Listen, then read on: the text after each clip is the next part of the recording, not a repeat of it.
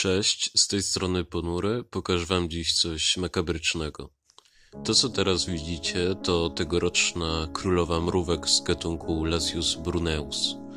E, królowa ta po złapaniu i umieszczeniu w odpowiedniej próbówce nie składała w ogóle jajeczek. Po pewnym czasie zrozumiałe stało się dlaczego. E, jej odwłok znacznie się powiększył, a błona pomiędzy tergitami rozsunęła się i prześwitywała. Mrówka ta była zakażona pasożytem.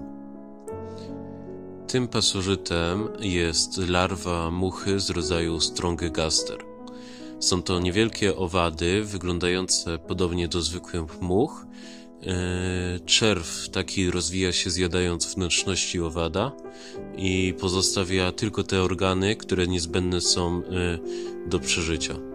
E, w końcu mrówka i tak umiera, a larwa opuszcza ciało żywiciela, e, ażeby potem przejść w bobówkę, a następnie w dorosłą muchę. Film uwiecznił, jak obrzydliwie to wszystko wygląda.